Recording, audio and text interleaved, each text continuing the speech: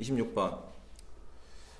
Excuse me, do you know if there is a bookstore nearby? 어, 여기 bookstore 지나, 근처에 있는, 있나요? 있는 거 아나요? Sure, there's one about two blocks straight ahead of us. 어, 두 블럭 앞에 있습니다. 뭐, 특별한 거 안 보이는데요? Oh, is it near the subway station on Pine Street? Pine Street에 있는 그런 지하철역 근처인가요? Yes, it's in the building that has recently renovated.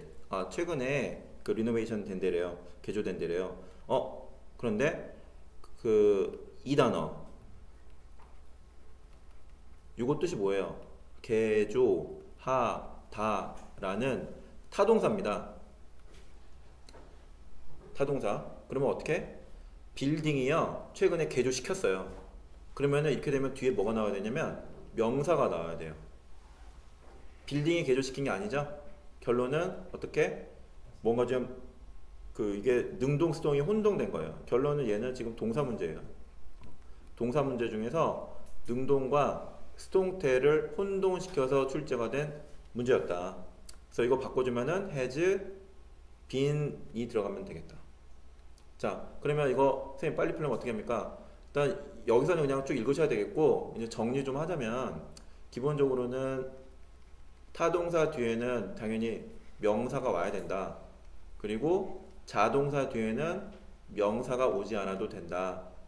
거꾸로 하면은 비동사 플러스 과거분사 뒤에는 명사 형태가 오는 경우와 오지 않는 경우가 있는데 명사가 오는 경우는 이 동사가 4형식과 5형식일 경우에만 온다 라는 거 대부분의 경우에는 이게 80% 그리고 일부 레어템이 이게 20%예요 그러니까 일단은 요거부터 챙기시면 되겠죠? 기본적으로는 어떻게 해요? 타동사 다음에는 뭐가 온다? 명사가 온다. 요거. 얘가 타동사니까 뒤에 명사가 와야 되는데 명사 없으니까 이거 틀린 거죠. 그렇게. 자 그러면 이제 질문. 선생님 자동사인지 타동사인지 어떻게 구별합니까?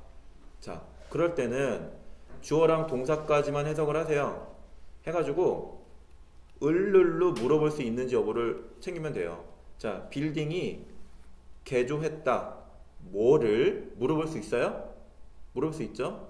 그러면 이거 명사를 필요로 한다는 거예요. 이거 이 자리가 목적어 자리. 그죠? 근데 을를로 물어볼 수 없다. 뭐 예를, 들어, 예를 들어서 I run 나는 달린다. 을를로 못 물어보잖아요. 어디를? 이거는 장소니까 그건 부사인 거고. 오케이? 그래서 굉장히 심플하게 자동사 타동사는 을를로 물어볼 수 있는지 여부로서 이거를 정리해 주시면 됩니다 오케이? 네, 그래서 26번 가봤고요